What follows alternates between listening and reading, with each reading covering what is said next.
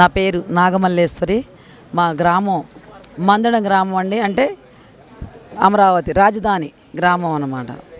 ఈరోజు జగన్మోహన్ రెడ్డి గారు ప్రతిపక్షం ఉన్నప్పుడు రాజధానికి భూములు స్వీకరిస్తున్నప్పుడు ఇవ్వండి నాకు ఇష్టమే చిన్న రాష్ట్రంగా ఉండకూడదు పెద్ద రాష్ట్రంగా ఉండాలి మనది నేను ఇక్కడే ఇల్లు కట్టుకుంటాను ఇక్కడే ఉంటాను అని చెప్పాడు జగన్మోహన్ రెడ్డి గారు. సరే అధికారంలో ఎవరైనా వస్తే అధికారంలో ఉన్నప్పుడు ఉన్న ప్రభుత్వమే కానీ ప్రతిపక్షంలో ఉన్న నాయకులే కానీ ఎవరైనా కానీ ఇంకా రాజధానికి ఇబ్బంది ఏమి ఉండదులే. ఎవరైనా దాన్ని పూర్తి చేస్తారనే ఉద్దేశంతో మేము నమ్మి ప్రభుత్వాన్ని నమ్మి భూములు ఇచ్చామండి. జగన్మోహన్ రెడ్డి గారు ఒక్క ఛాన్స్ ఇవ్వండి నాకు. నేను వస్తే ఇంకా రాజధాని ఇంకా గొప్పగా కడతాను అని చెప్పి వచ్చాడు. ఒక్క ఛాన్స్ ప్రజలు ఇచ్చారు. ఒక్క ఛాన్స్ ఇవ్వగానే అధికారంలో రాగానే మాట మార్చి మూడు రాజధానులు అనే కాన్సెప్ట్ని తీసుకొచ్చి మూడు రాజధానులను మొదలుపెట్టి ఇక విధ్వంసాన్ని సృష్టించాడు. అప్పటి ఆనాటి నుంచి మరి ప్రజావేదికని కూల్చేశాడంటే రాక రావడంతోనే ఏదైనా ఒక శుభకార్యం చేసి ఏదైనా మంచి పనులు చేస్తారు కొబ్బరికాయ కొట్టి. అలాంటిది ఈ వైసీపీ ప్రభుత్వం మరి ప్రజావేదికను కూల్చేసి విధ్వంసాన్ని సృష్టించి మొదటిసారిగా దాంతోనే ప్రారంభించాడు ప్రభుత్వాన్ని కూడా. ఆ రోజు నుంచి ఈ రోజు వరకు కూడా అలాగే సాగుతానే ఉన్నాయి ఎక్కడ చూసినా కూడా. అలాగే మళ్ళీ అమరావతి అంతే నాశనం అయిపోయిందండి. అమరావతి కూడా ఏమీ చేయలేదు.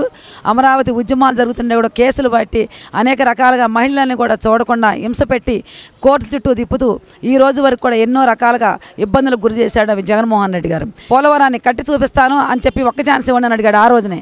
పోలవరాన్ని అసలు ఊసెత్తిన పాపాన లేదు. ఒక్క పని కూడా ఏమీ మరి మొదలుపెట్టి ప్రారంభించింది కూడా అక్కడే ఆగిపోయింది ఆ పోలవరం. అలాగే మరి నేను వస్తే ప్రత్యేక హోదా తీసుకొస్తాను. ఇరవై మూడు సీట్లు ఇరవై మూడు ఇరవై ఐదు పార్లమెంట్ ఎంపీ సీట్లు ఇస్తే చాలని చెప్పాడు. అలాగే ఇచ్చారు. ప్రత్యేక హోదాను మర్చిపోయాడు. ఒక్క ఛాన్స్ అని చెప్పి ఏ రకంగా అధికారంలోకి రావాలని చెప్పి అబద్ధాలు సృష్టించి అన్నీ కూడా ఈరోజు ఏది కూడా చేయకుండా నా సర్వనాశనం చేశాడు ఈ రాష్ట్రాన్ని. అలాగే మ పూర్తి మద్యపాన నిషేధాన్ని సంపూర్ణంగా నిషేధిస్తాను. అలా నిషేధించిన రోజే ఇరవై నాలుగో రెండు వేల ఇరవై నాలుగో సంవత్సరంలో మళ్ళీ ఎలక్షన్కి వచ్చి మీ ముందు ఓట్లు అడుగుతాను అని చెప్పాడు. మరి సంపూర్ణ మద్యపాన నిషేధం. నిషేధించలేదు. మద్యాన్ని ఇంకా పచ్చి మందు తయారు చేసి కల్తీ మందులను తయారు చేసి మరి ఆ మందుల్ని ఏరుల్లాగా ప్రవహించేటట్టు చేసి తనే ఒక మరి తన భార్య పేరుతో ఒక బ్రాండ్లు సృష్టించి ఆ రకంగా కల్తీ మందులను జనంతో తాగిచ్చి మరి ఇవాళ ఎంతోమంది లక్షల మంది చనిపోయారండి ఆ పచ్చి మందు దాగి. అలాగే ఎన్నో రకాలుగా చెప్పుకుండా పోతే ఈ ప్రభుత్వం ఈ నాలుగున్నర ఐదు సంవత్సరాల్లో చేసింది ఏమీ లేదు. చెప్పుకుంది ఎక్కువ ఆర్భాటం ఎక్కువ తప్పితే ఏమీ చేయలేదు. ఎక్కడా కూడా ఒక తట్ట సిమెంట్ వేసి కట్టింది లేదు ఒక రోడ్లు వేసింది లేదు. ఉన్న రోడ్లను కూడా అమరావతిలో గత ప్రభుత్వంలో వేసిన రోడ్లను కూడా తవ్వుకొని తీసుకుపోయిన పరిస్థితి ఆ వైసీపీ కార్యకర్తలే. అలాగే ఎక్కడా కూడా దళితులకి నేను మేనమావని దళితులకి ఎన్నో రకాలుగా నేను తోడుగా ఉంటాను నా అక్క చెల్లెళ్ళు అని చెప్పిన ఈ జగన్మోహన్ రెడ్డి ఆ దళితుల ప్రాణాలే తీసి ఆ దళితుల మీదే కేసులు బనాంచి అలాగే ఎస్టీ ఎస్సీల మీద కూడా ఎస్టీ ఎస్సీ కేసులు పెట్టి చేతులకు సంఖ్యలు వేసి కోర్టులకు నడిపించిన ఘనత ఈ వైసీపీ ప్రభుత్వాన్ని ఇలా ఎన్నో రకాలుగా చేశారని ప్రజలు చూస్తానే ఉన్నారు ఈ రోజున. మాకు కావాల్సింది ఒక్కటే ఈరోజు మేము అడుగుతుంది కూడా. ఏ రోజైతే నువ్వు మాట చెప్పి అమరావతి ఇక్కడే ఉంటుంది నేను ఇల్లు కట్టుకున్నానని చెప్పావు అది నువ్వు నెరవేర్చలా. అది అది నా అది చేయలేదు. అది అబద్ధంగా మిగిలిపోయింది. అమరావతి ఇక్కడే ఉండాలండి.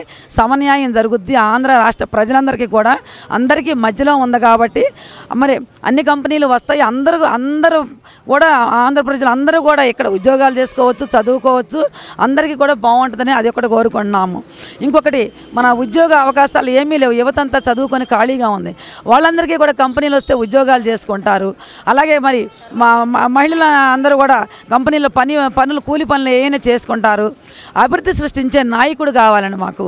విధ్వంసాన్ని సృష్టించే నాయకుడు అబద్ధాలు చెప్పే నాయకుడు మరి మా మరి రంగుల వేసి ప్రభుత్వాన్ని నడిపే నాయకుడు. మరి అలాంటి నాయకులు మేము కోరుకోవట్లేదు ఆంధ్ర రాష్ట్రం. ఈరోజు భావితరాల కోసం ఈ ఆంధ్రప్రదేశ్ను ముందుకు తీసుకెళ్ళే నాయకుడు మాకు కావాలి. పెమ్మచాన చంద్రశేఖర్ గారండి. ఆయన కష్టపడి చదువుకొని ముందుకు వచ్చి లక్షల కోట్లు సంపాదించాడు కష్టార్జితంతో ఎన్ఆర్ఐ అక్కడికి వెళ్ళి అమెరికా వెళ్ళి. మరి ఆ డబ్బును తీసుకొచ్చి ఈరోజు కంపెనీలు కట్టి ఈ గుంటూరు పార్లమెంట్లో లక్ష మందికి ఉద్యోగ అవకాశాలు నేను కల్పిస్తాను అని చెప్పి మరి దానికి ఏదైనా అధికారం కావాలి కదండి ప్రభుత్వ స- సహాయ సహకారాలు కావాలి కాబట్టి ఇక్కడ ఎంపీగా చేశారు. ఆయన లక్ష్యం ఒక్కటే ఈ ఆంధ్రాలో ఏ ఒక్క యువకుడు కూడా మరి చదువుకొని నాకు చదువుకొని ఉద్యోగం చేయలేదు నాకు కుటుంబాన్ని పోషించలేకపోతున్నాను కుటుంబానికి నేను భారం అయిపోయాను అనే ఆలోచన ఏ ఒక్క యువత యువకుల్లో చదువుకున్న వాళ్ళలో ఉండకూడదని చెప్పి ఆయన కేవలం ఆ లక్ష్యంతోనే ఒక తొలి అడుగు ఆ పెంబసాని గారు వేశారండి. చాలా బాగా చేస్తారు. మంచి విజన్ ఉన్న లీడరు. మొదటిసారిగా కూడా ఈ ఏరియాకి వచ్చినా కూడా ఆయన ఒక లక్ష్యంతో వచ్చాడు. అది ఛేదిస్తారు. మాకు కూడా పెమ్మసాని గారి మీద బాగా నమ్మకం ఉంది. గతంలో గల్లా జయదేవ్ గారు చేశారు. మళ్ళీ ఈయన కూడా బాగా చేస్తారని నమ్మకంతో కూడా మేము ఆయన సపోర్ట్గా ఈరోజు నిలబడుతున్నాము. మేము కూడా ఈ ఊరు ఊరు తిరిగి ఇంటింటికి కూడా ప్రతి గడపని ప్రతి తలుపు తట్టి మీరు అభివృద్ధి చేసి ఆంధ్రప్రదేశ్ను ముందు నడిపించి విజనున్న లీడర్ని ఎన్నుకోండి. ఒక్కసారి కాదు వంద సార్లు ఆలోచించి ఓటు వేయాలి. మనం ఏదైనా వస్తువు కొనుక్కున్నప్పుడు వంద సార్లు ఆలోచించి కొనుక్కుంటాం. ఐదు సంవత్సరాలు మనం పరిపాలన చేసి ప్రభుత్వాన్ని ఒక్కసారి ఓటు తప్పటడుగు పడింది అంటే మనం అనుభవించాల్సిందే. ఈ ఐదు సంవత్సరాల నుంచి అనుభవించాము. ఇక వద్దు ఈ ప్రభుత్వం. మనకి ము- ముందు భావితరాల భవిష్యత్తు కోసం మనల్ని ముందుకు నడిపించే నాయకుడు మనం తీసుకొచ్చుకోవాలి. మరి మన ఆంధ్ర రాష్ట్రం ఇప్పటికే ఎంతో నష్టపోయి ఇరవై ఏళ్ళు వెనక్కి వెళ్ళింది మరి ప్రతి రాష్ట్రం వాళ్ళు కూడా నవ్వుకుంటున్నారు. ఆంధ్ర వాళ్ళు తెలివైన వాళ్ళు. ఇలాగా నెత్తి మీద పెట్టుకొని ఈ ప్రభుత్వాన్ని తీసుకొచ్చి వాళ్ళు నాశనం అయిపోయారని. అలా మళ్ళీ జరగకూడదు. ప్రతి రాష్ట్రంలో కూడా ఆంధ్రాకి వచ్చి బతకాలి. ఆంధ్ర వెళ్తే మనకి భవిష్యత్తు ఉంటుంది అనుకునేటట్టుగా ఈ రాష్ట్రాన్ని తీర్చిదిద్దే నాయకుడి కోసం మేము ఎదురు చూస్తున్నామండి. ఆ నాయకుడిని మేము తీసి గెలిపించుకుంటాము. ఆ నాయకుడికి ఓట్లేస్తానికి అందరూ సిద్ధంగా ఉన్నారు. రెడీగా కూడా ఉన్నారండి. జై అమరావతి. నమస్తే అండి మాది తుళ్ళూరు నా పేరు రామినేని రాణి. నాకు ముప్పై ఏడు సెంట్లు భూమి ఉంటే నేను రాజధాని కోసం ఇచ్చానండి. పిల్లల భవిష్యత్తు ఆంధ్ర రాష్ట్రం భవిష్యత్తు కోసం మే నేను కూడా భాగస్వామ్యం అవ్వాలని ఇచ్చేసాము ఇప్పటి వరకు కౌళ్ళు కూడా వేయలేదు ఈ ప్రభుత్వం. ఈ ప్రభుత్వంలో ఎన్నో ఒడిదుడుకులు ఆయన వచ్చి రాగానే మూడు రాజధానులను మొదలుపెట్టాడు. ఆ మొదలుపెట్టిన రోజు నుంచి ఆ రోజు నుంచి ఈ రోజు వరకు కూడా మేము రోడ్ల మీదే ఆయన బాగు చేసింది ఏమీ లేదు. మూడు రాజధానులు అన్న మాటే అన్నాడు కానీ డెబ్బై ఐదు శాతం పూర్తయిన రాజధానిని ఒక సిమెంట్ బిళ్ళ కానీ ఒక ఇటుక బిళ్ళ కానీ పెట్టి కనీసం ఇంత కూడా బాగు చేసింది ఒక గొయ్యి కూడా బూడ్చింది లేదు ఈ ముఖ్యమంత్రి. ఏమండి ఈ గవర్నమెంట్ అయితే మాకు వద్దండి. ఇంకా గవర్నమెంట్ అనేది రా ఏదైనా అభివృద్ధి చేసే గవర్నమెంట్నే మేము కోరుకుంటున్నాము. రాజధాని ముఖ్యంగా డెవలప్ కావాలి రాజధాని కావాలి. ఆంధ్రప్రదేశ్కి అనాథల అనాథ బిడ్డలాగా ఉంది ఆంధ్రప్రదేశ్ అనేది. తల్లిదండ్రి లేని బిడ్డ అనాథగా రోడ్డు మీద ఎలా ఉంటాడో అలా ఉంది ఇప్పుడు రాజధాని. రాజధానిని పూర్తిగా డెవలప్మెంట్ చేసి పూర్తి చేసే నాయకుడిని మేము కోరుకుంటున్నాము. నంబర్ వన్ అండి. పెమ్మసాని చంద్రశేఖర్ గారు కష్టాల్లోంచి పైకి వచ్చిన ఆయన.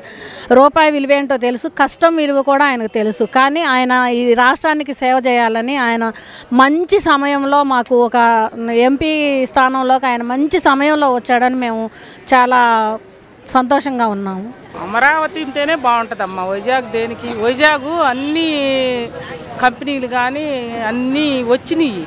దానికి అసలు రాజధాని అవసరంలా. మన అమరావతికి ముప్పై నాలుగు వేల ఎకరాల పొలాలు ఇచ్చి అన్ని రోడ్లు వేసి ప్లాన్ గీసి ఇది దీనికి కావాలి అమరావతికి రాజధాని వైజాగ్ వైజాగ్ అవసరం లేదు రాజధాని. ఇప్పుడు ఆ రోజు చ- మామూలుగా ప్రభుత్వంలో ఉన్న చంద్రబాబు నాయుడు గారు పొలాలు అడిగితే అందరం కొంచెం సందేహించి తర్వాత పర్లేదు బాగా చేస్తాడు ఈ ముఖ్యమంత్రి గారు.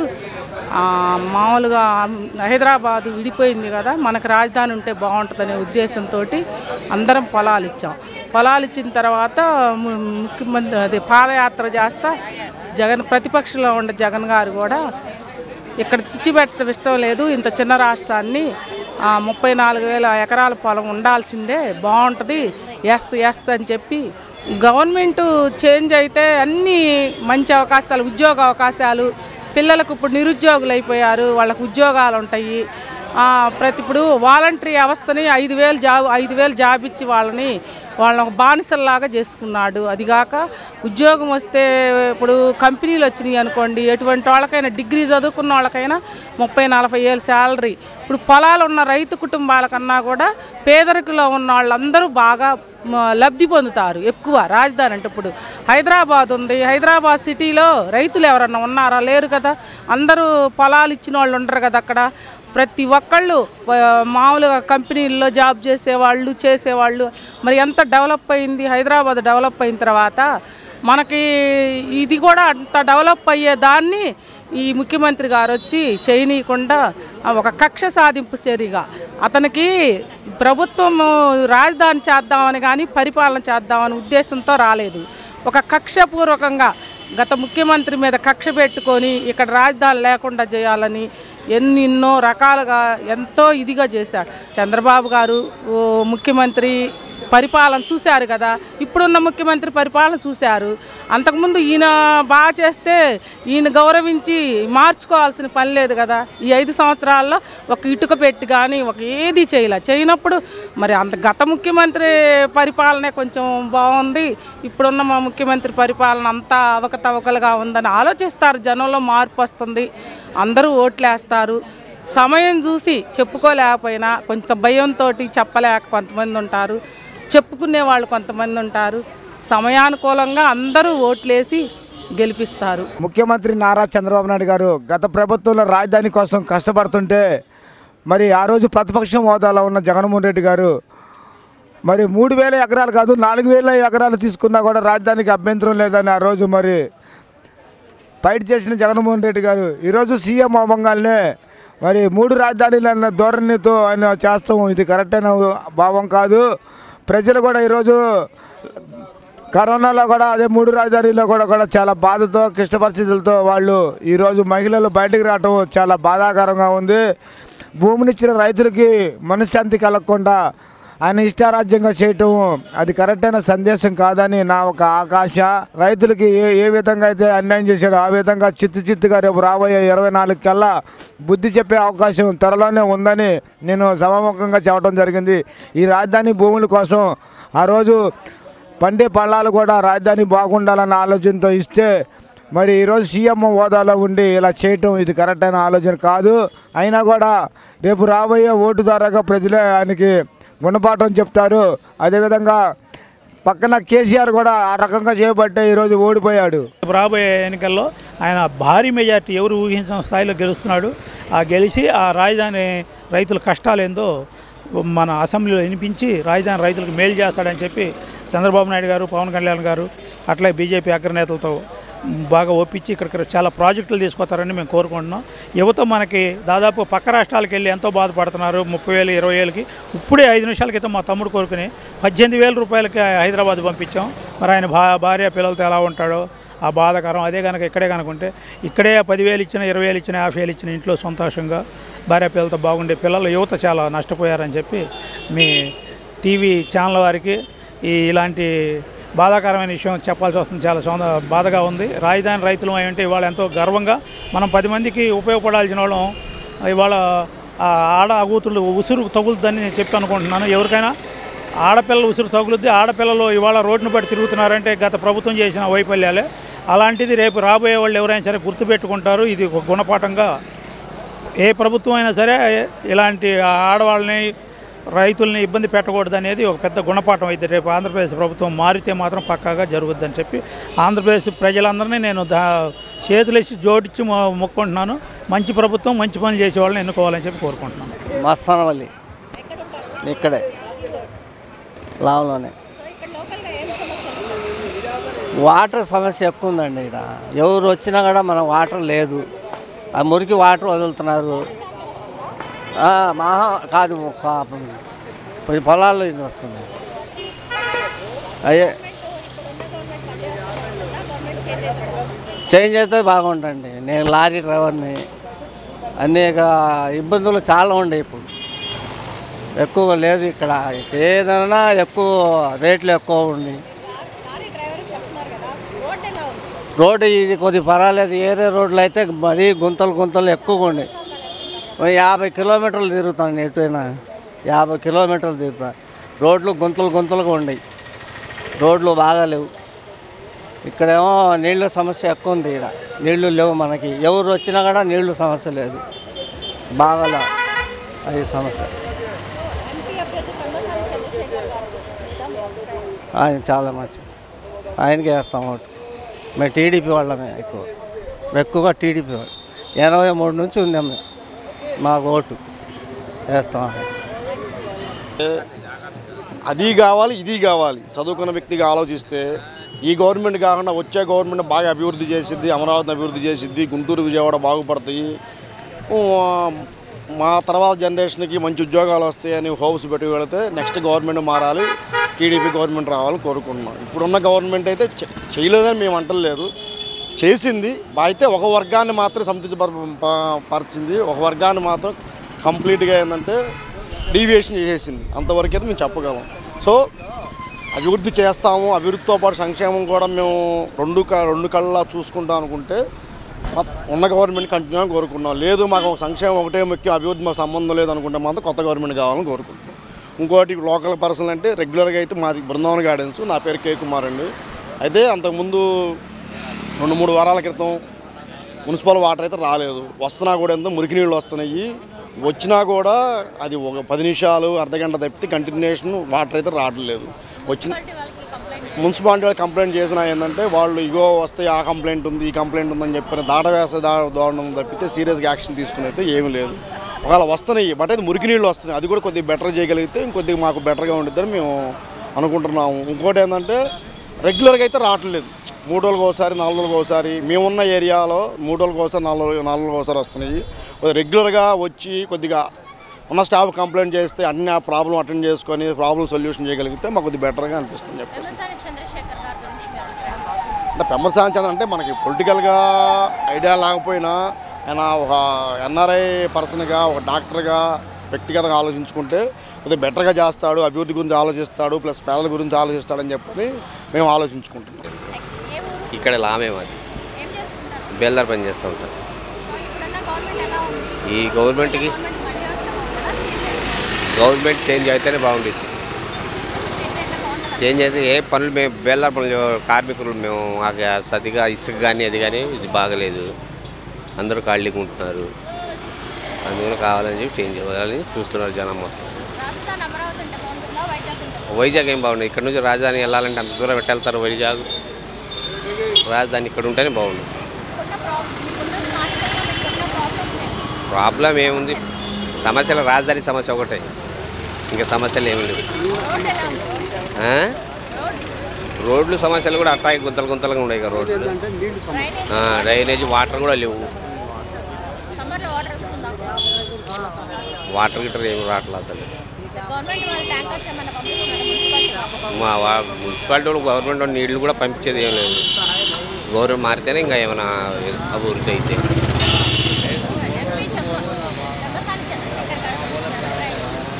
చంద్రశేఖర్ కదా టీడీపీ గురించి ఆయనే గెలుస్తారు టీడీపీ వచ్చింది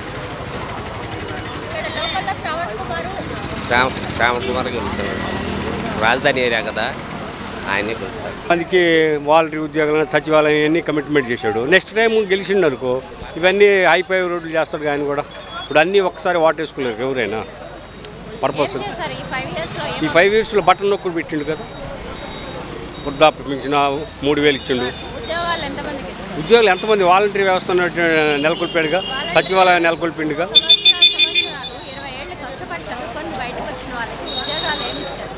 ఇరవై ఏళ్ళు కష్టపడ్డారంటే ఎక్కడ దొరుకుతున్నాయండి ఉద్యోగాలు? అమెరికా వెళ్ళి ప్రతి వాళ్ళు అమెరికా వెళ్దామా ఢిల్లీ వెళ్దామా అని చూస్తున్నారు.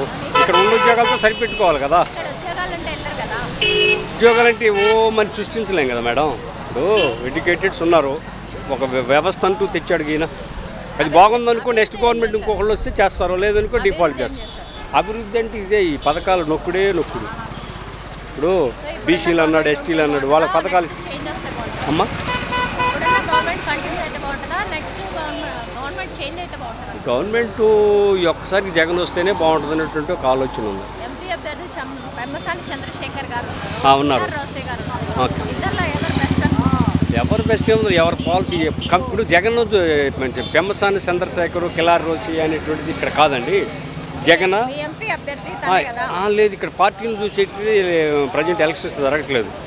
పార్టీ అధ్యక్షుడు చంద్రబాబు కూటమినా జగన్? కూటమియే జగన్. ఇదే కాన్సెప్ట్ ఎక్కువ పర్సెంట్ ఈ క్యాండిడేట్లను చూసి ఒకప్పుడు. వ్యక్తిగతంగా నాకు ఆయన అంటారు? ఈయన బాగా ఎన్ఆర్ఐ డబ్బులు బాగుండే అనేటువంటిది కాకుండా పెమ్మసాని చంద్రశేఖర్. కిలార్ రోసి అంటే ఒక రకమైన ఆయన్ని తట్టుకోలేడు డబ్బులు పెట్టుకున్నారు కదా అని అనుకుంటున్నారు జనం పబ్లిక్ ఎవరు వచ్చినా ఎవరు యాక్టివ్ ఉంటారు కదా. సీఎం ఎవరైతే అలా మాటలు వీళ్ళు ఉండాల్సిందే పార్లమెంట్ అధ్యక్షుడైనా ఎమ్మెల్యే అయినా జరిగేది అదే కదా. టీడీపీ వస్తే అది వైసీపీ వస్తే జగన్ మాట వినాలి ఇది వస్తేనే కూటమి చంద్రబాబు నాయుడు మాట. నాకేముంది నాకు కానీ యాభై తొమ్మిది నుండి అరవై వస్తున్నాయి. అరవై వచ్చినాక వృద్ధాప్య ఏ గవర్నమెంట్ వచ్చి తీసుకుంటా లేక తెలియదు. అమ్మ ఒడి ఇట్లా ఇవి మామూలుగా రైతు అకౌంట్లో పడుతున్నాయి రైతు డబ్బులు.